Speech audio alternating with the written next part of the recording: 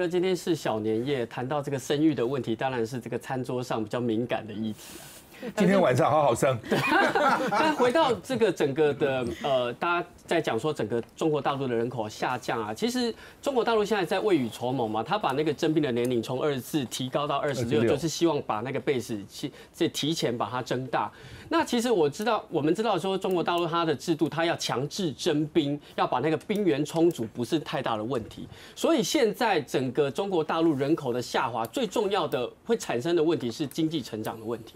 所以所以我们看到说，其实以台湾过去的经验啊，台湾过去战后婴儿潮不是往上拉吗？那后来有这个加工出口的区，有这个这个科技园区，也有相关的这个经济政策，让台湾经济高速的成长。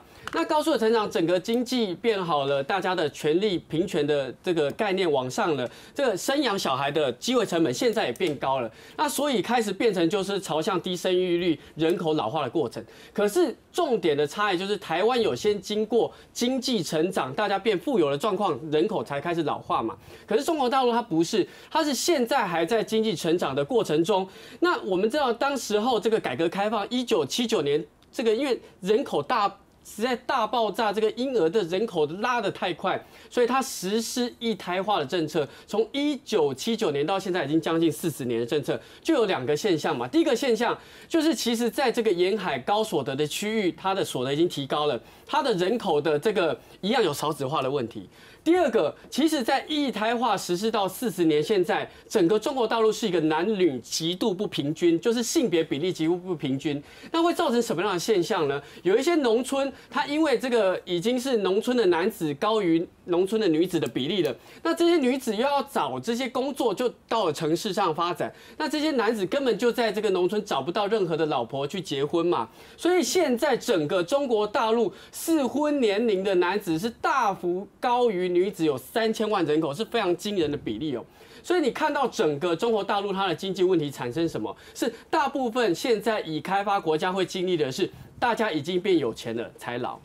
可是他不是，他是大家还没有变有钱就已经先老了。这是中国大陆在人口下滑的过程中必须面临最大的问题。老沈，我觉得我们台湾是最没有资格去讨论中国大陆的少子化问题，我们比人家严重啊。对不对？因为哈，这个炎黄子孙的女子啊，都不想生小孩，啊，所以你看新加坡啊、香港啊、台湾啊，然后再加这个韩国哦，那日本，这个生育率都差不多一点出头，甚至一以下。那欧洲这些国家，哪一个国家生育率最近也不好？意大利。所以我一天到晚在想，意大利的妈妈跟台湾的妈妈有类似的地方吗？我有心得。不过今天不不讲，今天不讲，我怕你收视率太高了 啊。所以所以啊，想知道，同样是生育率下来，同样不想生，等老老娘不干了，但是他又加了一个一胎化，是让他更恶化。所以他那时候该不该一胎化？我在想，他那个时候该不该一胎化？绝对不应该啊！所以跟这一次的 COVID-19 一样嘛，就是领导人听错了。比如说听错了马尔萨斯的人口论，对，完全大家都相信了。台湾台湾不是也是吗？当时你就流行两个孩子恰恰好，一个孩子不算少。你记得那个时候？没有这个这个 leader，还有没有这个 leader 在选 选择他的 policy 的时候不能犯错，一犯错是千古难回。哦，所以现在哈，你们在讲这个这个通告文里头都在讲军队，军队不重要啊，因为军队那么多。趁这个机会裁裁军又有什么关系呢？你老公要侵略各个邻邦啊，要要耀武扬威啊，也不在乎那个数目嘛。我觉得是经济力的持续。嗯，还有哦，这个我们以前台湾一年生四十万啊，我的年代四十万，现在是十四万了。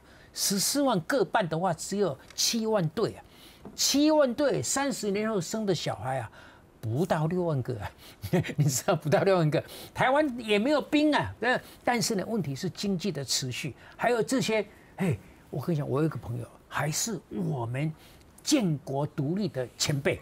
他有一天我跟他吃饭，给他瞪得呢，一共你记的话都像好的国家，像比利时、像荷兰都只有一千万，我们还两千三百万呢。我是红利他个判题啊，我们是从两千三百万要调到一千万，怎么个调法？这个过程里头，这些人都要吃饭的，这些人都要领退休金的，没有人缴退休金，他们从什么地方去拿？所以这个过程哦，我觉得是没救了，是真的没救。所以伯伯，你听我讲，就叫等啊。